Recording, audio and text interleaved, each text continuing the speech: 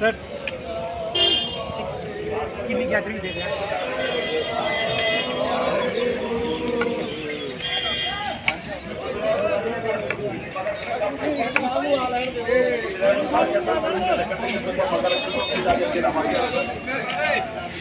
ਸਤਿਨਾਮ ਵਾਹਿਗੁਰੂ ਸਤਿਨਾਮ ਵਾਹਿਗੁਰੂ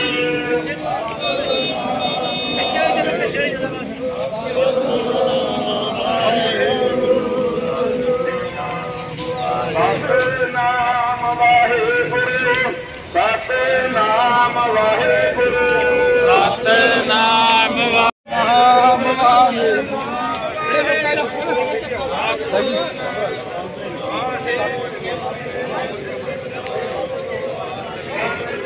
ਵਾਹਿਗੁਰੂ ਪਿੱਛੇ ਹੋ। ਉਹਨੂੰ ਪਿੱਛੇ ਕਰ। ਪਿੱਛੇ ਹੋ ਵੀਰੇ।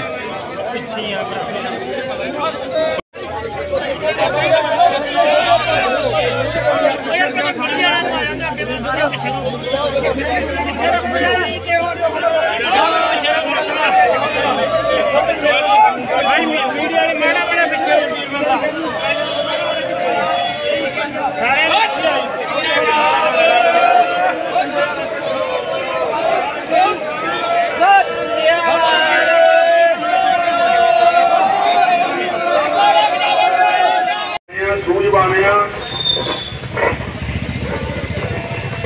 ਸਾਰੀਆਂ ਸੰਗਤਾਂ ਨੂੰ ਬੇਨਤੀ ਹੈ ਇੱਕ ਤੁਹਾਡੀ ਗੱਡੀ ਅੰਦਰ ਮੋੜ ਦਿਓ ਸਿੰਘ ਸਾਹਿਬ ਜੀ, ਸਾਰੇ ਇੱਕ ਮਿੰਟ ਰੁਕੋ, ਫੋਟੋ ਲੈਣੀ ਇੱਕ ਸਪੈਸ਼ਲ ਸਾਰਿਆਂ ਦੀ ਲੰਬੀ ਲਾਈਨ ਦੇ ਵਿੱਚ। ਲਓ ਫੋਟੋ ਰੁਕ ਲੈ ਗੱਡੀ ਇੱਕ ਗੱਡੀ ਰੁਕੋ।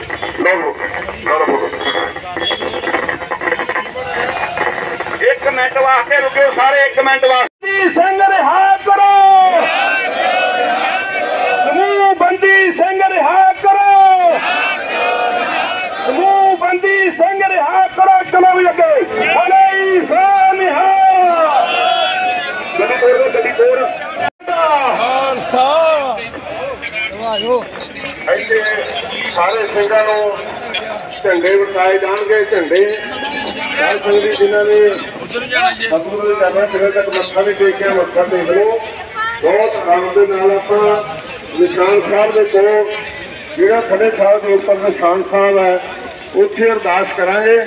ਉਸ ਤੋਂ ਬਾਅਦ ਆਪਾਂ ਜੈ ਸਿੰਘ ਰੋਡ ਤੇ ਅਗਲਾ ਜਿਹੜਾ ਮੂਰਲਾ ਸਾਹਮਣਾ ਗੇਟ ਆ ਇਹਦੇ ਤੋਂ ਵੀ ਸਾਰੇ ਆਗੂ ਅੱਗੇ ਅੱਗੇ ਚੱਲਣਗੇ। ਸਾਰੀ ਸੰਗਤ ਨੇ ਬੇਨਤੀ ਮੰਨ ਲਿਓ ਸਾਰੇ ਜਿਵੇਂ ਆ ਪਿੱਛੇ ਅ, ਖਾਲਸਾ ਜੀ ਅੱਜ ਬੰਦੀ ਸਿੰਘਾਂ ਦੀ ਰਿਹਾਈ ਲੈ ਕੇ ਅੱਜ ਇਕੱਠ ਹੋਇਆ ਜੀ ਦਿੱਲੀ ਦੇ ਵਿੱਚ। ਮਨੁੱਖੀ ਅਧਿਕਾਰ ਦਿਵਸ ਦੇ ਮੌਕੇ ਤੇ ਕਿ ਸਰਕਾਰ ਨੂੰ ਸਾਡੀ ਚੇਤਾਵਨੀ ਆ ਵੀ ਸਾਡੇ ਬੰਦੀ ਸਿੰਘਾਂ ਨੂੰ ਕੀਤਾ ਜਾਵੇ ਜੀ। ਤੇ ਦੋ ਕਾਨੂੰਨ ਨਾ ਅਪਣਾਏ ਜਾਣ ਜੋ ਸ- ਸੰਵਿਧਾਨ ਆ ਭਾਰਤ ਦਾ। ਉਹਦੇ ਨਾਤੇ ਜੋ ਉਹਨਾਂ ਨੇ ਸਜ਼ਾ ਆਪਦੀ ਕੱਟ ਚੁੱਕੇ ਆ ਕਿ ਉਹ 19 ਵਿੱਚ ਰਾਜੋਣ ਦੀ ਰਿਹਾਈ ਸੀ ਉਮਰ ਕੈਦ ਦੀ ਸਜ਼ਾ ਹੋਣ ਦੇ ਬਾਵਜੂਦ। ਪਰ ਫਿਰ ਵੀ ਸਾਡਾ ਦੋਗਲਾ ਪਰ ਅਪਣਾ ਰਹੇ ਆ। ਕਿਉਂਕਿ ਜਦੋਂ ਦੇਸ਼ ਕੌਮ ਦੀ ਰਾਖੀ ਕਰਨ ਵਾਲੀ ਸਾਡੀ ਕੌਮ ਆ, ਗੁਰੂ ਤੇਗ ਬਹਾਦਰ ਸਾਹਿਬ ਜੀ ਨੇ ਸਨਾਤਨ ਧਰਮ ਬਦਲੇ ਸੀ ਦਿੱਤਾ। ਇਸ ਕਰਕੇ ਸਾਡੀ ਬੇਨਤੀ ਹੈ ਸਾਡੇ ਨਾਲ ਇਹ ਭਰਾ- ਭਰਾਚਾਰੀ ਰੱਖਣ, ਸਾਡੇ ਬੰਦੀ ਸਿੰਘਾਂ ਨੂੰ ਰਿਹਾ ਕੀਤਾ ਜਾਵੇ। ਵਾਹਿਗੁਰੂ ਜੀ ਕਾ ਖਾਲਸਾ। ਖਾਲਸਾ ਜੀ ਕੀ ਲੱਗਦਾ ਜੀ ਕਾਤੋਂ ਨਹੀਂ ਅ, ਜਿਹੜੀ ਰਿਹਾਈ ਕੀਤੀ ਜਾ ਰਹੀ ਕੀ ਲੱਗਦਾ ਤੁਹਾਨੂੰ? ਸਾਡੇ ਨਾਲ ਮਦੇਰਮਾ ਵਾਲਾ ਸਲੂਕ ਕੀਤਾ ਜਾਂਦਾ ਪੂਰੀ ਸਾਨੂੰ ਜਦੋਂ ਦਾ 47 ਚੋਂ ਵੰਡ ਹੋਈ ਹੈ ਸਾਨੂੰ ਵੱਧ ਅਧਿਕਾਰਾਂ ਦਾ ਲਾਲਚ ਦੇ ਕੇ ਟੌਫੀਆਂ ਦੇ ਕੇ ਇਹਨਾਂ ਨੇ। ਤੇ ਅੱਜ ਤੱਕ ਸਾਡੇ ਨਾਲ ਉਹ ਦੁਰਦਸ਼ਾ ਕਰ ਰਹੇ ਸਾਡੇ 40 40 ਸਾਲ ਦੇ ਅੰਦਰ ਬੈਠੇ ਆ ਇਹਨਾਂ ਦੇ ਕਤਲ ਵੀ ਕਰਨ ਇਹਨਾਂ ਦੇ ਡਾਕੇ ਵੀ ਮਾਰਨ ਇਹਨਾਂ ਤੋਂ AK47 ਵੀ ਫੜੀਆਂ ਜਾਣ ਉਹ ਬਾਹਰ ਉਹਨਾਂ ਨੂੰ ਪਾਰਲੀਮੈਂਟ ਦੀਆਂ ਟਿਕਟਾਂ ਮਿਲਦੀਆਂ ਨੇ। ਆ ਸਾਡੇ ਨਾਲ ਬੇਇਨਸਾਫੀ ਹੈ। ਲੰਬੇ ਸਮੇਂ ਤੋਂ ਲੜਾਈ ਲੜਦੇ ਆ ਰਹੇ ਆ ਲੱਗਦਾ ਕਿ ਇਹ ਜਿਹੜੀ ਆ ਲੜਾਈ ਆ ਅੱਜ ਦੀ ਜਿਹੜੀ ਲੜਾਈ ਆ ਜਿਹੜੀ ਦਿੱਲੀ ਦੇ ਕੰਨਾਂ ਤੱਕ ਆਵਾਜ਼ ਜਾਏਗੀ। ਅੱਜ ਜਾਏਗੀ ਅੱਜ ਲਾਜ਼ਮੀ ਜਾਵੇ ਜੇ ਜਨਮ ਮਿੱਟੀ ਦਾ ਚੱਲ ਪਾਵਾਂਗੇ ਤਾਂ ਦਰਤ ਹੌਲੀ ਹੌਲੀ ਸੁੱਕ ਵੀ ਜਾਂਦਾ। ਬੜੇ ਲੈਵਲ ਤੇ ਜਾਵੇਗੀ ਕਿਹੜੀਆਂ ਕਿਹੜੀਆਂ ਮੰਗਾਂ ਨੂੰ ਲੈ ਕੇ ਜਿਹੜਾ ਧਰਨਾ ਦਿੱਤਾ ਜਾ ਰਿਹਾ ਜੀ? ਅੱਜ ਵਿਸ਼ੇਸ਼ ਹੈਗਾ ਬੰਦੀ ਸਿੰਘਾਂ ਦੀ ਰਿਹਾਈਆਂ ਵਾਸਤੇ। ਵੈਸੇ ਅਸੀਂ ਵੱਧ ਅਧਿਕਾਰਾਂ ਦੀ ਲੜਾਈ ਲੜਦੇ ਹਾਂ। ਕੀ ਅਪੀਲ ਕਰਨਾ ਚਾਹੋਗੇ ਦਿੱਲੀ ਸਰਕਾਰ ਨੂੰ? ਦਿੱਲੀ ਸਰਕਾਰ ਨੂੰ ਅਸੀਂ ਸਿੱਧਾ ਹੀ ਕਹਿੰਦੇ ਆ ਵੀ ਤੁਸੀਂ ਦੇਖੋ ਸਿੱਖਾਂ ਨਾਲ ਜਿਹੜੀ ਹੈਗੀ ਹੈ ਆਪਸ ਵਿੱਚ ਹੱਥ ਮਿਲਾ ਕੇ ਚੱਲੋ। ਸਾਡੇ ਹੱਕ ਸਾਨੂੰ ਦਿਓ ਆਪਦੇ ਹੱਕ ਆ ਤੁਸੀਂ ਆਨੰਦ ਮਾਣੋ ਤੇ ਨਾ ਲੜੋ ਨਾ ਲੜਾਓ ਇਸ ਪਾਸੇ ਨਾ ਪਾਓ। ਆਪਾਂ ਇਸ ਸੂਬੇ ਨੂੰ ਇੱਕ ਮਜ਼ਬੂਤ ਸੂਬਾ ਬਣਾ ਕੇ ਸਕੀਏ। ਮਜ਼ਬੂਤ ਬਣਾ ਭਾਰਤ ਬਣਾ ਸਕੀਏ ਸਾਰੇ ਰਲ ਕੇ। ਤੇ ਜੇ ਇਸ ਤਰ੍ਹਾਂ ਚੱਲਾਂਗੇ ਨੁਕਸਾਨ ਹੋਊਗਾ। ਸਾਡੇ ਦੇਸ਼ ਦਾ ਨੁਕਸਾਨ ਹੋਊਗਾ ਸਾਡੀ ਜਨਤਾ ਦਾ ਨੁਕਸਾਨ ਹੋਊਗਾ। ਇਸ ਕਰਕੇ ਆਪਣੇ ਜਾਵੇ ਇਹਨਾਂ ਨੂੰ ਰਿਹਾ ਕਰਕੇ ਸਮਝਦਾਰੀ ਪ੍ਰਗਟ ਕੀਤੀ ਜਾਵੇ। ਬਲ ਬੁਲਾਈ ਜਾਵੇ ਫਿਰ ਗਾਂ ਦੇਖਾਂਗੇ। ਅਗਰ ਸਿੱਟਾ ਨਹੀਂ ਨਿਕਲ ਕੇ ਆਂਦਾ ਤਾਂ ਫਿਰ ਅਗਲੀ ਰੂਪਰੇਖਾ ਕੀ ਹੁੰਦੀ ਹੈ ਤੁਹਾਡੀ? ਅਗਰ ਸਿੱਟਾ ਨਹੀਂ ਨਿਕਲ ਕੇ ਆਂਦਾ ਅੱਜ ਦੇ ਧਰਨੇ ਦਾ ਤਾਂ ਫਿਰ ਕੀ ਰੂਪਰੇਖਾ ਹੋਏਗੀ? ਫਿਰ ਅਸੀਂ ਇਹ ਸੰਘਰਸ਼ ਤੱਤਾ ਕਰਾਂਗੇ। ਸ਼ਹੀਦੀਆਂ ਤੱਕ ਵੀ ਜਾਊਗਾ ਇਹ ਸੰਘਰਸ਼ ਚਲੋ ਜੀ।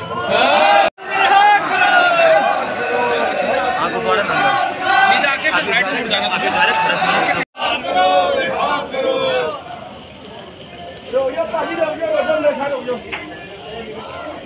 ਮੇਰਾ ਜੀ ਦਾਸ ਸੱਜਣ ਸਿੰਘ ਬਾੜਾ ਸ਼ਹੀਦ ਸਿੰਘ। ਮੁੱਖ ਸਲਾਹਕਾਰ ਪੰਜਾਬ ਇੰਟਰਨੈਸ਼ਨਲ ਪੰਥਕ ਦਾ। ਖਾਲਸਾ ਜੀ ਅੱਜ ਜਿਹੜਾ ਹੈਗਾ ਅ, ਬੰਦੀ ਸਿੰਘਾਂ ਦੀ ਰਿਹਾਈ ਨੂੰ ਲੈ ਕੇ ਲੰਬੇ ਸਮੇਂ ਤੋਂ ਲੜਾਈ ਲੜਦੇ ਆ ਰਹੇ ਆ। ਉਸ ਨੂੰ ਲੈ ਕੇ ਅੱਜ ਦਿੱਲੀ ਦੇ ਵਿੱਚ ਜਿਹੜਾ ਪ੍ਰੋਟੈਸਟ ਕੀਤਾ ਜਾ ਰਿਹਾ ਕੀ ਕਹਿਣਾ ਚਾਹੋਗੇ? ਇਹ ਬੇਨਤੀ ਹੈ ਜੀ ਜਿੱਥੇ 31 31 32 32 ਸਾਲਾਂ ਦੇ ਸਿੰਘ ਕਾਨੂੰਨ ਮੁਤਾਬਕ ਸਜ਼ਾ ਪੂਰੀਆਂ ਕਰ ਚੁੱਕੇ ਆ। ਇੱਥੇ ਦੋਹਰਾ ਮਾਪਦੰਡ ਅਹ, ਕਰਾਇਆ ਜਾ ਰਿਹਾ ਹੈ। ਕਿ ਜਦੋਂ ਕਾਨੂੰਨ ਮੁਤਾਬਕ ਉਹਨਾਂ ਦੀ ਸਜ਼ਾ ਪੂਰੀ ਹੋਈ ਕਿਉਂ ਨਹੀਂ ਛੱਡਦੇ? ਜੇ ਰਾਜੀਵ ਗਾਂਧੀ ਦੇ ਕਾਤਲ ਛੱਡੇ ਜਾਂਦੇ ਆ ਹੋਰ ਬੈਰੋ ਦੇ ਛੱਡੇ ਜਾ ਸਕਦੇ ਆ ਇਹ ਕਿਉਂ ਨਹੀਂ ਛੱਡੇ ਜਾ ਸਕਦੇ? ਇਸ ਵਾਸਤੇ ਅਸੀਂ ਬੜਾ ਸ਼ਾਂਤਮਈ ਜੋ ਇਹ ਰੋਸ ਹੈ ਇੱਕ ਸਿਰਫ ਵੀ ਇੱਥੇ ਅਰਦਾਸ ਕਰਕੇ ਬੰਗਲਾ ਸਾਹਿਬ ਤੋਂ ਇੰਟਰਨੈਸ਼ਨਲ ਪੰਥਕ ਦਲ ਸਿੰਘ ਸਾਹਿਬ ਭਾਈ ਜਸਵੀਰ ਸਿੰਘ ਰੋਡੇ ਸਾਬਕਾ ਜਥਾ ਸ੍ਰੀ ਅਕਾਲ ਤਖਤ ਸਾਹਿਬ ਤੇ ਉਹਨਾਂ ਦੇ ਉਦਮ ਸਦਕਾ ਤੇ ਨਿਸ਼ਾਨ ਸਾਹਿਬ ਦੀ ਅਗਵਾਈ ਦੇ ਵਿੱਚ ਅਸੀਂ ਇੱਕ ਬੇਨਤੀ ਪੱਤਰ ਲੈ ਕੇ ਚੱਲੇ ਆ ਵੀ ਆ ਸਾਡੇ ਨਾਲ ਧੱਕਾ ਕਿਉਂ ਕੀਤਾ ਜਾ ਰਿਹਾ? ਸਦਾ ਜੀ ਗੱਲ ਕੀਤੀ ਜਾਵੇ ਜਿਸ ਤਰ੍ਹਾਂ ਕਿ ਸਿੰਘਾਂ ਵੱਲੋਂ ਆਵਾਜ਼ ਚੱਕੀ ਜਾਂਦੀ ਆ ਜਿਹੜਾ ਆਵਾਜ਼ ਚੱਕਦਾ ਉਹਨੂੰ ਅੰਦਰ ਕਰ ਦਿੱਤਾ ਜਾਂਦਾ। ਕੀ ਲੱਗਦਾ ਕਿ ਇਹ ਲ- ਅ, ਸਿੱਖ ਜਥੇਬੰਦੀ ਨੂੰ ਜਾਂ ਸਿੱਖ ਸਿੱਖ ਕੌਮ ਨੂੰ ਦੱਬਣ ਦੀ ਕੋਸ਼ਿਸ਼ ਨਹੀਂ ਕੀਤੀ ਜਾ ਰਹੀ? ਦੇਖੋ ਜੀ ਅੱਜ ਨਾ ਮਨੁੱਖੀ ਅਧਿਕਾਰ ਦੇ ਜਦੋਂ ਸਿੱਖਾਂ ਨੂੰ ਮਨੁੱਖ ਦਾ ਅਧਿਕਾਰ ਸਾਨੂੰ ਮਿਲਿਆ ਹੀ ਨਹੀਂ ਉਸ ਦਿਨ ਅਸੀਂ ਆਪਦਾ ਰੋਸ ਜ਼ਾਹਰ ਕਰ ਰਹੇ ਹਾਂ। ਸੈਂਟਰ ਸਰਕਾਰ ਅੱਗੇ ਵੀ ਸਾਡੇ ਨਾਲ ਧੱਕਾ ਕਿਉਂ ਦਬਾਇਆ ਕੁਚਲਿਆ ਕਿਉਂ ਜਾ ਰਿਹਾ ਸਾਨੂੰ? ਇਸ ਵਾਸਤੇ ਇਹ ਸੰਗਤਾਂ ਬਹੁਤ ਵੱਡਾ ਕਾਫਲਾ ਇੰਟਰਨੈਸ਼ਨਲ ਪੰਥਕ ਦਲ ਦੇ ਬਾਨੀ ਸਿੰਘ ਸਾਹਿਬ ਜਸਵੀਰ ਸਿੰਘ ਰੋਡੇ ਸਾਬਕਾ ਜਥਾ ਸ੍ਰੀ ਅਕਾਲ ਤਖਤ ਸਾਹਿਬ ਭਤੀਜੇ ਸੰਤ ਗਿਆਨੀ ਜਰਨੈਲ ਸਿੰਘ ਖਾਲਸਾ ਪਿੰਡਰਾਂ ਵਾਲੇ ਉਹਨਾਂ ਦਾ ਉਦਮ ਸਦਕਾ ਤੇ ਨਿਸ਼ਾਨ ਸਾਹਿਬ ਦੀ ਅਗਵਾਈ ਦੇ ਵਿੱਚ ਬਹੁਤ ਵੱਡਾ ਜਥਾ ਇਹ ਕਿੰਨੀ ਕੁ ਸੰਗਤ ਕਿੰਨੀ ਕੁ ਸੰਗਤ ਅੱਜ ਆਈ ਹੈ ਜੀ? ਤੋਂ ਘੱਟ ਤਕਰੀਬਨ 5000 ਦਾ ਇਕੱਠ ਇੱਥੇ ਹੈ। ਤੇ ਜਿਸ ਤਰ੍ਹਾਂ ਕਿ ਅੱਜ ਇਕੱਠ ਬਹੁਤ ਜ਼ਿਆਦਾ ਹੈ ਤੇ ਉਸ ਨੂੰ ਲੈ ਕੇ ਦਿੱਲੀ ਪ੍ਰਸ਼ਾਸਨ ਵੱਲੋਂ ਕੀ ਸਹਿਯੋਗ ਮਿਲ ਰਿਹਾ? ਹੈ ਸਾਨੂੰ ਉਹਨਾਂ ਨੂੰ ਸਹਿਯੋਗ ਮਿਲ ਰਿਹਾ ਜੀ। ਸਾਡੇ ਨਾਲ ਉਹਨਾਂ ਦੀ ਮੀਟਿੰਗ ਹੋਈ ਲਿਖਿਆ ਕੋਈ ਗੱਲ ਨਹੀਂ ਤੁਹਾਨੂੰ ਖੋਲਿਆ ਜਿਵੇਂ ਤੁਸੀਂ ਸ਼ਾਂਤਮਈ ਰੋਸ ਕਰਦੇ ਹੋ ਸਾਨੂੰ ਪ੍ਰਸ਼ਾਸਨ ਦਾ ਬਹੁਤ ਸਹਿਯੋਗ ਮਿਲ ਰਿਹਾ ਅਗਰ ਜੇ ਅੱਜ ਸਿੱਟਾ ਨਹੀਂ ਨਿਕਲ ਕੇ ਆਉਂਦਾ, ਫਿਰ ਅਗਲੀ ਰੂਪਰੇਖਾ ਕੀ ਹੋਏਗੀ? ਦਿੱਲੀ ਵੱਲੋਂ? ਉਹ ਵੇਖੋ ਜੀ, ਅੱਜ ਅਸੀਂ ਪੂਰੀ ਦੁਨੀਆ ਨੂੰ ਇਹ ਦਿਖਾਉਣ ਆਏ ਆ ਵੀ ਦੁਨੀਆ ਵਾਲਿਓ ਅੱਜ ਹਿਊਮਨ ਰਾਈਟ ਦੇ ਮਨਾ ਰਹੇ ਹੋ, ਤੁਸੀਂ ਮਨੁੱਖੀ ਅਧਿਕਾਰ ਦਿਵਸ ਮਨਾ ਰਹੇ ਹੋ। ਤੇ ਸਿੱਖ ਆਪਣਾ ਅਧਿਕਾਰ ਮੰਗਦੇ, ਅਸੀਂ ਇਸ ਦੇਸ਼ ਲਈ ਸਭ ਤੋਂ ਵੱਧ ਕੁਰਬਾਨੀਆਂ ਕੀਤੀਆਂ ਔਰ ਸਭ ਤੋਂ ਵੱਧ ਇਸ ਧਰਤੀ ਉੱਤੇ ਸਾਡੇ ਨਾਲ ਹੀ ਜ਼ੁਲਮ ਹੋਇਆ। ਭਾਰਤ ਦੇ ਵਿੱਚ ਸਾਡਾ ਕਾਲ ਤਖਤ ਸਾਹਿਬ ਹਟਾ ਦਿੱਤਾ ਗਿਆ। ਦਿੱਲੀ ਦੇ ਵਿੱਚ ਸਾਡੀਆਂ ਧੀਆਂ ਭੈਣਾਂ ਦੀ ਇੱਜ਼ਤ ਲੁੱਟੀ ਗਈ। ਸਾਡੇ ਨੌਜਵਾਨਾਂ ਦੇ ਗਲਾਂ ਦੇ ਵਿੱਚ ਟਾਇਰ ਪਾ ਕੇ ਅੱਗ ਲਾ ਦਿੱਤੀ ਗਈ। ਸੋ ਅੱਜ ਤੱਕ ਸਾਨੂੰ ਕਿਸੇ ਚੀਜ਼ ਦਾ ਇਨਸਾਫ ਨਹੀਂ ਮਿਲਿਆ। ਸਾਡੇ ਬੰਦੀ ਸਿੰਘ ਉਸ ਟਾਈਮ ਜੋ ਐਕਸ਼ਨ ਕੀਤਾ ਸੀ ਗਵਰਨਮੈਂਟ ਨੇ, ਉਸ ਐਕਸ਼ਨ ਦੇ ਵਿੱਚ ਜੋ ਸਾਡੇ ਨੌਜਵਾਨਾਂ ਨੇ ਕੀਤਾ, ਉਹ ਸਜ਼ਾਵਾਂ ਵੀ ਪੂਰੀਆਂ ਕਰ ਚੁੱਕੇ ਨੇ। ਪਰ ਅੱਜ ਤੱਕ ਉਹਨਾਂ ਨੂੰ ਸਜ਼ਾਵਾਂ ਪੂਰੀਆਂ ਹੋਣ ਦੇ ਬਾਵਜੂਦ ਵੀ ਬੰਦੀ ਸਿੰਘ ਜਿਹੜੇ ਸਾਡੇ ਰਿਹਾ ਨਹੀਂ ਕੀਤੇ ਗਏ।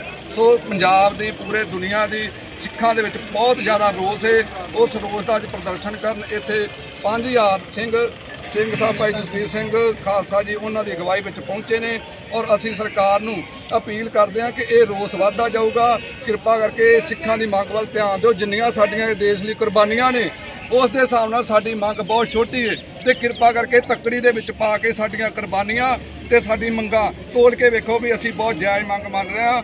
ਸੋ ਇਹ ਸਰਕਾਰ ਨੂੰ ਅਪੀਲ ਹੈ ਕਿ ਸਾਡੇ ਸਿੰਘਾਂ ਨੂੰ ਰਿਹਾ ਕੀਤਾ ਜਾਵੇ। ਬਾਬਾ ਜੀ ਮਗਲੇ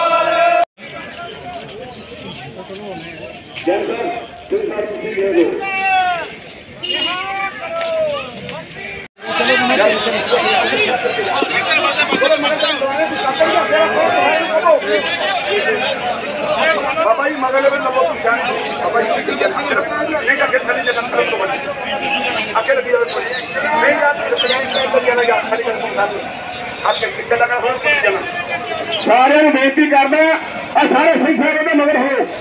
ਹੋ ਅੱਗੇ ਆ ਯਾਰ ਕੈਮਰਾ ਲੈ ਕੇ ਫੋਨ ਲੈ ਕੇ ਸੁਣੋ ਸੁਣੋ ਬਿਲਕੁਲ ਸਲੋ ਚੱਲਣ ਦੇ ਸੁੱਕੇ ਗੱਡੀ ਮੱਚ ਕਮਕ ਤੋੜਨੀ ਬਿਲਕੁਲ ਅੱਧੀ ਕਰਨ ਨਹੀਂ ਟੁੱਟਣੀ ਮਾਰੀ ਮਾਰੀ ਤੋੜ ਬਿਲਕੁਲ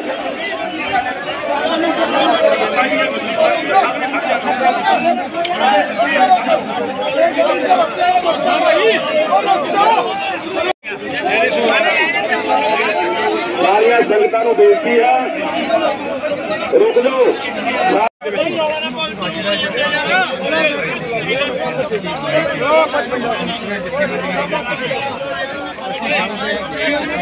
ਆਪਣੇ ਆਪ ਦੀ ਸ਼ਾਂਤੀ ਨਹੀਂ ਹੈ ਸਾਡੀ ਪੰਥ ਦੀ ਸ਼ਕਤੀ ਹੈ ਜਿਹੜੀ ਬਹੁਤ ਵੱਡੀ ਹੈ ਕਿਉਂਕਿ ਸਾਡੇ ਨਾਲ ਜੁੜੀ ਹੈ। ਇਹ ਜਿਹੜਾ ਕੇਜਰੀਵਾਲ ਹੋਇਆ ਮੋਦੀ ਹੋਇਆ ਹੈਲੋ ਇਹ ਸਾਰੇ ਪੰਚਾਇਤ ਬਿਲਕੁਲ ਅਭੀ ਉੱਤੇ ਹਾਂਜੀ ਘਰਾਂ ਦਾ ਭਾਰ ਹੈ ਕਿ ਜਿੱਥੇ ਰੱਬ ਹੋਵੇ ਚੱਲਾ ਚਾਹਤਾ ਹੈ ਉਹਦੀ ਹੁੰਦੀ ਹੈ ਕਿ ਗੁਰੂ ਗੋਬਿੰਦ ਸਿੰਘ ਮਹਾਰਾਜ ਗੱਡਾਂ ਦੇ ਵਿੱਚ ਹਾਂਜੀ ਹਾਂਜੀ ਮਾਤਾ ਪਿਤਾ ਦੇ ਸ਼ਹੀਦ ਹੋਣ ਤੋਂ ਬਾਅਦ ਔਰੰਗਜ਼ੇਬ ਨੇ ਜਿਹੜਾ ਸਕਦੇ ਅਸੀਂ ਅੱਜ ਚੇਤਾਵਨੀ ਦੇ ਬਿਲਕੁਲ ਅੱਗੇ ਫਰੰਟ ਤੇ ਆ ਜਾਓ ਜਿਹੜਾ ਜਨਤਾ ਸੀ ਕਿਸੇ ਤਰ੍ਹਾਂ ਭਾਈ ਮੁਸਲਮਾਨ ਦੇ ਸੈਂਕੜੇ ਹੋਰ ਸਿੰਘ ਭਾਈ ਤਾਰਾ ਜੀ ਭਾਈ ਧਿਆਰਾ ਜੀ ਤੁਰੰਤ ਰਿਹਾ ਕਰੋ ਜਿਹੜਾ ਅਸੀਂ ਇਹ ਨਹੀਂ ਸਮਝੋ ਜਿਹੜੇ ਤੋਂ ਯਰਗਮਾਲ ਉਹ ਸਿੱਖਾਂ ਦੇ ਯਰਗਮਾਲ ਉਸ ਅਣਖ ਉਸ ਚੈਨ ਨੂੰ ਅਸੀਂ ਕਬੂਲ ਕਰਕੇ ਕੇ ਆਏ ਹਾਂ ਤੇ ਆਉਣ ਵਾਲੇ ਸਮੇਂ 'ਚ ਅਸੀਂ ਸ਼ਾਂਤਮਈ ਢੰਗ ਨਾਲ ਸਾਰੇ ਭਾਈਚਾਰੇ ਦੀ ਸਾਂਝ ਨਾਲ ਜਮਹੂਰੀ ਢੰਗ ਤਰੀਕੇ ਨਾਲ ਇਸ ਦੇਸ਼ ਦੀਆਂ ਹਕੂਮਤ ਦੋਹਾਂ ਦੀਆਂ ਕੇਰੀ ਵਾਲ ਵਿੱਚ ਹੱਕ ਰਾਜਨੀਤੀ ਸਮਝਦੇ ਆ ਕਿ ਪ੍ਰਧਾਨ ਮੰਤਰੀ ਇੱਕ ਤਾਨਾਸ਼ਾਹ ਡਿਕਟੇਟਰ ਇਹਨਾਂ ਦੋਹਾਂ ਦੀਆਂ ਜੜਾਂ ਹਿਲਾ ਕੇ ਜੋ ਖਾਲਸਾ ਪੰਥ ਦਾ ਰਾਖਾ ਗੁਰੂ ਹੈ ਉਹਦੇ ਝੰਡੇ ਇੱਥੇ ਵੀ ਚੁਣਨੇ ਕਿ ਵੀ ਸਿਖਾਰਾਂ ਵਿੱਚ ਲਾਏ ਤੁਸੀਂ ਵੱਡੀਆਂ ਗੱਲਾਂ ਕਹਿ ਰਹੇ ਕਿ ਝੰਡੇ ਚਲਾਵਾਂਗੇ ਇਸ ਤੋਂ ਅੱਗ ਵੀ ਕਿਹਾ ਗਿਆ। ਪਰ ਜੀ ਇਹ ਵੱਡਾ ਸੰਘਰਸ਼ ਤਾਂ ਚੰਡੀਗੜ੍ਹ ਦੇ ਵਾਈਪੀਐਸ ਚੌਂਕ ਵਿਖੇ ਵੀ ਚੱਲ ਰਿਹਾ ਜਥੇਦਾਰ ਸਾਹਿਬ ਨੂੰ ਰਿਹਾ ਕਰਵਾਉਣ ਦੀ। ਜਥੇਦਾਰ ਸਾਹਿਬ ਦੀ ਰਿਹਾਈ ਬੰਦੀ ਸਿਖਾ ਦੀ ਰਿਹਾਈ ਦੀ। ਰੋਸ਼ 26 ਫਰਵਰੀ ਤੇ ਨਿਊ ਸੋਚ ਵਾਸਤੇ ਜਿਹੜਾ ਹੈ ਵੱਡੀ ਲੜਾਈ ਕਰਾਈ ਸੰਗਤ ਸਿੰਘ ਰੋਡੇ ਦੀ ਹਵਾਈ ਤੇ ਅਸੀਂ ਫੈਸਲਾ ਗੁਰਦੇਵ ਸਿੰਘ ਸੰਘਰਸ਼ ਤੇਜ ਕਰਨ ਇਰਾਦੇ ਨੇ। ਹੋਰ ਮਿਲਮੁੱਠੀ ਜਥੇਬੰਦੀਆਂ ਸਾਡੇ ਕੋਲ ਰਸਤੇ ਕਿ ਪੰਜਾਬ ਤੋਂ ਚੱਲ ਕਰਕੇ ਸ਼ੌਕ ਨਹੀਂ। ਸਾਡੇ ਕੋਲ ਸਰਕਾਰਾਂ ਨੇ ਕੋਈ ਰਸਤਾ ਹੀ ਨਹੀਂ ਛੱਡਿਆ ਵੀ ਅਸੀਂ ਜਾ ਕੇ ਲੜ ਕੇ ਛੀ ਲੁੰਝਗੇ ਜਾਂ ਅਸੀਂ ਸਿਰ ਸੁੱਟ ਕੇ ਇਸ ਦੇਸ਼ ਦੇ ਵਿੱਚ ਜਿਉਣੀਏ ਸਿਰ ਸੁੱਟ ਕੇ ਅਸੀਂ ਜਿਉਣਾ ਨਹੀਂ। ਅਸੀਂ ਇਹਨਾਂ ਦਾ ਇਨਸਾਫ ਲੈ ਬਠਿੰਡਾ ਸਾਹਿਬ ਕਿਵੇਂ ਦੇਖਦੇ ਹੋ? ਜਦੋਂ ਅਧਿਕਾਰਾਂ ਦੀ ਗੱਲ ਆਉਂਦੀ ਹੈ ਮਨੁੱਖੀ ਅਧਿਕਾਰਾਂ ਦੀ ਪਹੁੰਚਣ ਦੀ ਸਰਕਾਰ ਆਪਾਂ ਪੰਜਾਬ ਸਰਕਾਰ ਵੱਡੇ ਦਾਅਵੇ ਕਰਦੇ ਨੇ ਕਿ ਅਸੀਂ ਲੋਕਾਂ ਦੇ ਨਾਲ ਲੋਕਾਂ ਦੇ ਹਿੱਤ ਦੀ ਗੱਲ ਕਰਦੇ ਤੁਹਾਨੂੰ ਕੀ ਲੱਗਦਾ ਕਿ ਅੱਜ ਤੁਹਾਨੂੰ ਮਜਬੂਰਨ ਆਉਣਾ ਪਿਆ ਹਿੱਤ ਦੀ ਗੱਲ ਹੋ ਰਹੀ ਹੈ? ਇਹ ਤਾਂ ਮਜ਼ਾਕ ਹੈ ਇੱਕ ਬੰਦੇ ਨੂੰ ਯਾਰ ਕਮਾਲ ਬਣਾਇਆ। ਜਿਹੜੇ ਸੁਣਦੇ ਡਾਕਟਰ ਪੜ੍ਹਦੇ ਸੀ ਬਿਨਾਂ ਟੈਸਟ ਤੋਂ। ਇਹ ਬਹੁਤ ਹੀ ਸਿੱਖਾਂ ਨੂੰ ਯਾਰ ਕਮਾਲ ਬਣਾਇਆ ਇਹਨੂੰ ਕੀ ਭਾਵੇਂ ਸਿੱਖਾ ਇਨਸਾਫ ਕਿੱਥੇ ਕੋਈ ਇਨਸਾਫ ਨਹੀਂ। ਸਾਡੀ ਗੱਲ ਨਾ ਮੰਨੇ ਮੀਡੀਆ। ਇਹ ਜਿਹਨੂੰ ਰੋਜ਼ ਮਿੱਤਰ ਮਿੱਤਰ ਮੇਰਾ ਮਿੱਤਰ ਅਮਰੀਕਾ ਦਾ ਰਾਸ਼ਟਰਪਤੀ ਕਹਿ ਰਿਹਾ ਵੀ ਇਹ ਕਾਜੀ ਕੈਨੇਡਾ ਦਾ ਰਾਸ਼ਟਰਪਤੀ ਕਹਿ ਰਿਹਾ। ਬ੍ਰਿਟਾਨੀਆ ਦਾ ਪ੍ਰਧਾਨ ਮੰਤਰੀ ਕਹਿ ਰਿਹਾ। ਬਾਹਰ ਜਾ ਕੇ ਗੱਲਾਂ ਕਰਾਈ ਜਾਂਦੇ। ਸਾਡੇ ਅਗਵਾਹ 'ਚ ਅਮਰੀਕਾ ਦਾ ਰਾਸ਼ਟਰਪਤੀ ਹੈ। ਅੱਜ ਸਾਡਾ ਅਗਵਾਹ ਕੈਨੇਡਾ ਦਾ ਪ੍ਰਧਾਨ ਮੰਤਰੀ ਹੈ। ਸਾਡਾ ਅਗਵਾਹ ਬ੍ਰਿਟਾਨੀਆ ਦਾ ਪ੍ਰਧਾਨ ਮੰਤਰੀ ਹੈ, ਇਹ ਤੋਂ ਵੱਡੀ ਸਾਨੂੰ ਕੀ ਲੋੜ ਹੈ? ਤੁਸੀਂ ਭਾਈ ਅਮਰ ਥੋੜਾ ਪਿੱਛੇ ਹੋਈ ਯਾਰ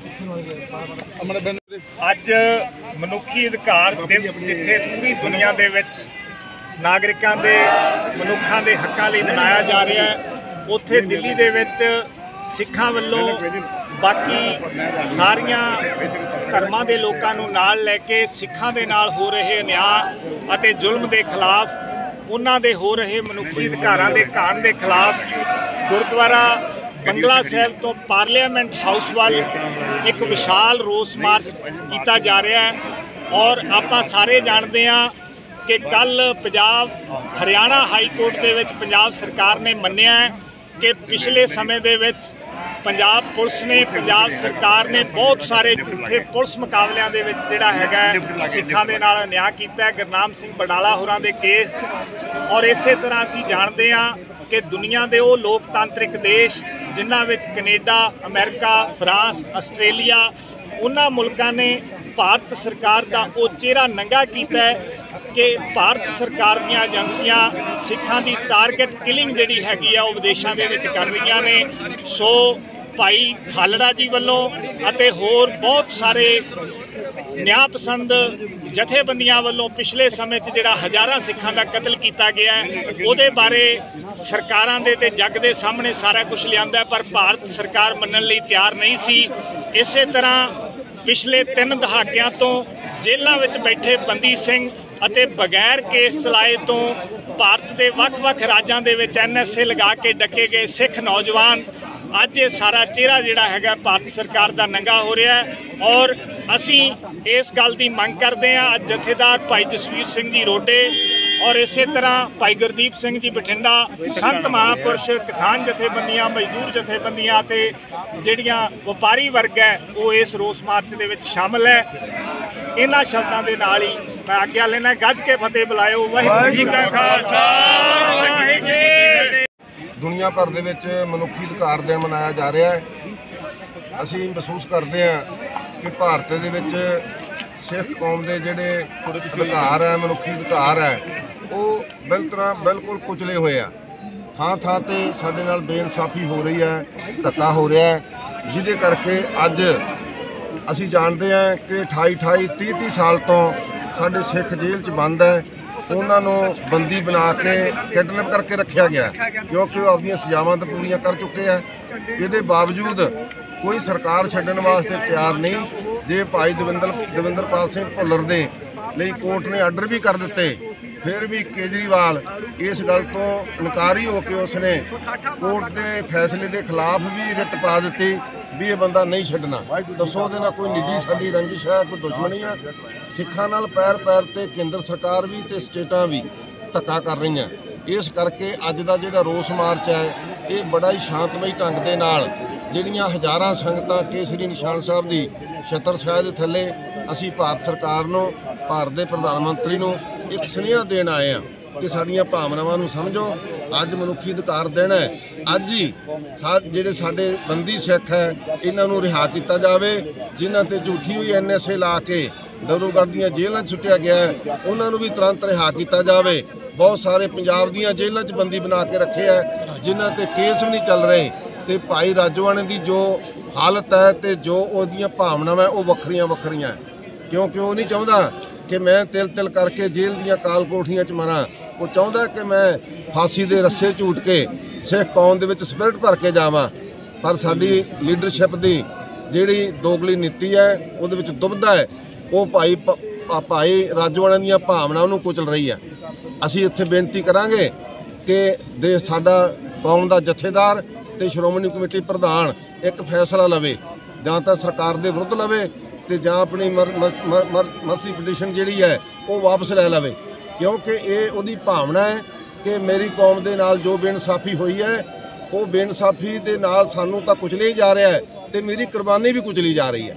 ਇਸ ਕਰਕੇ ਉਹਦੀਆਂ ਭਾਵਨਾ ਦੀ ਕਦਰ ਕਰਨੀ ਚਾਹੀਦੀ ਹੈ। ਅੱਜ ਦਾ ਸਾਡਾ ਰੋਸ ਮਾਰਚ ਸਿਰਫ ਸ਼ਾਂਤਮਈ ਇਸ ਢੰਗ ਤੇ ਹੀ ਹੈ। ਇਸ ਪੱਧ ਤੇ ਹੀ ਹੈ ਕਿ ਭਾਵੇਂ ਪਹਿਲਾਂ ਮੋਹਾਲੀ ਦੇ ਵਿੱਚ ਥਾਂ ਥਾਂ ਤੇ ਹੋਰ ਧਰਨੇ ਲੱਗਦੇ ਆ ਮੁਜ਼ਾਹਰੇ ਹੁੰਦੇ ਆ, ਰੋਸ ਪ੍ਰੋਟੈਸਟ ਹੁੰਦੇ ਆ, ਉਹ ਕਾਰਨ ਤਾਂ ਇੱਕੋ ਹੀ ਹੈ। ਅੱਜ ਸਾਰੇ ਜਿੱਥੇ ਧਰਨੇ ਲੱਗੇ ਆ, ਜਿਹੜਾ ਮੋਹਾਲੀ ਦਾ ਧਰਨਾ ਚੱਲ ਰਿਹਾ ਹੈ ਸਾਰਿਆਂ ਨੇ ਇਕੱਠਿਆਂ ਹੋ ਕੇ ਫੈਸਲਾ ਰਿਹਾ ਹੈ ਕਿ ਆਪਾਂ ਮਨੁੱਖੀ ਅਧਿਕਾਰ ਦੇਣ ਤੇ ਦਿੱਲੀ ਚੱਲੀਏ ਤੇ ਉੱਥੇ ਰੋਸ ਪ੍ਰੋਟੈਸਟ ਕਰੀਏ, ਉਹਦੇ ਤਹਿਤ ਅਸੀਂ ਆਏ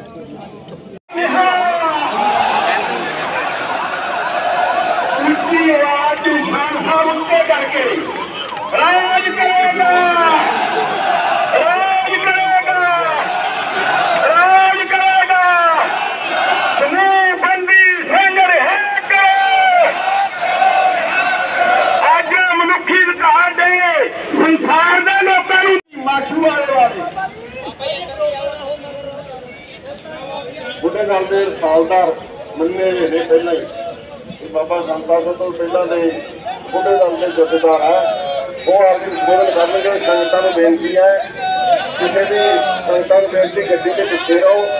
ਭਾਈ ਗੁਰਦੀਪ ਸਿੰਘ ਜੀ ਭਾਈ ਬਲਵਿੰਦਰ ਸਿੰਘ ਜੀ ਕਰਜੈਨ ਜੀ।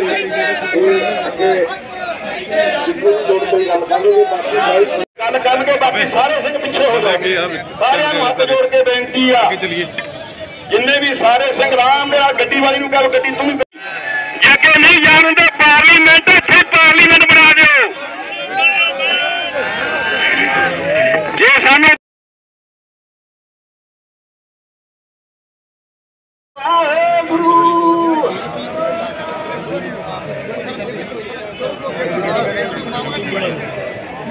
ਸਤਨਾਮ ਵਾਹਿਗੁਰੂ ਸਤਨਾਮ ਵਾਹਿਗੁਰੂ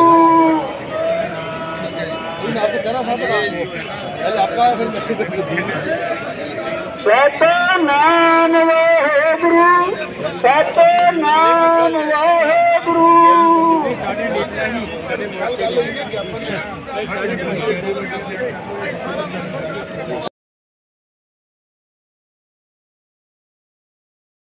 ਨੂੰ ਲੈਣ ਵਾਸਤੇ ਸ਼ਾਟ ਮਾਰ ਲਿਆ ਸੀ ਜਿਹੜੀਆਂ ਗੱਡੀਆਂ ਆਈਆਂ ਖੜੀਆਂ ਮਾਰ ਲਈ ਮੈਂ। ਬਾਬਾ ਜਤਿੰਦਰ ਸਿੰਘ ਜੀ, ਬਾਬਾ ਸੁਖਵਿੰਦਰ ਸਿੰਘ ਜੀ, ਬਾਬਾ ਗੁਰਦੇਵ ਸਿੰਘ ਜੀ ਸਰਵ ਜੈਨ ਬਾਬਾ ਜੀ, ਭਾਈ ਗੁਰਦੀਪ ਸਿੰਘ ਬਠਿੰਡਾ ਭਾਈ ਬਲਵਿੰਦਰ ਸਿੰਘ, ਬਲਵੰਤ ਸਿੰਘ ਬ੍ਰਹਮਕੇਤ ਤੇ ਭਾਈ ਜਾਨ ਹੁਣ ਆਪ ਜੀ ਨੂੰ ਸੰਤ ਬਾਬਾ ਸੱਜਣ ਸਿੰਘ ਜੀ। ਉਹ ਆਪ ਸੰਗਤਾਂ ਨੂੰ ਸਮੁੰਦਰ ਹੋਣਗੇ। 2 ਮਿੰਟ ਵਾਸਤੇ ਸੰਗਤਾਂ ਦੇ ਨਾਲ ਉਹ ਵਿਚਾਰਾਂ ਸਾਂਝੀਆਂ ਕਰਨਗੇ, ਉਹ ਗੱਡੀ ਦੇ ਉੱਪਰ ਆ ਜਾਣ। ਸੋ ਇਜਾਜ਼ਤ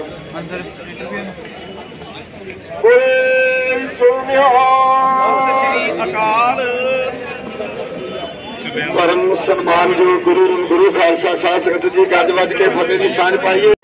ਉਹਨਾਂ ਦੇ ਤਲਵਾਰ ਸੰਤ ਬਾਬਾ ਬਲਵੰਤ ਇਹ ਜੋ ਅੱਜ ਵਾਲੇ ਵੀ ਬਹੁਤ ਸਾਡੇ 30 35 35 ਸਾਲ ਤੋਂ ਸਿੰਘ ਜੇਲ੍ਹਾਂ ਵਿੱਚ ਬੈਠੇ ਆ ਜਿਨ੍ਹਾਂ ਨੇ ਪੂਰੀਆਂ ਸਜ਼ਾਵਾਂ ਭੋਗ ਲਈਆਂ। ਫਿਰ ਵੀ ਭਾਰਤ ਦੀ ਸਰਕਾਰ ਜਿਹੜੀ ਆ ਉਹਨਾਂ ਸਿੰਘਾਂ ਨੂੰ ਛੱਡਣ ਵਾਸਤੇ ਤਿਆਰ ਨਹੀਂ।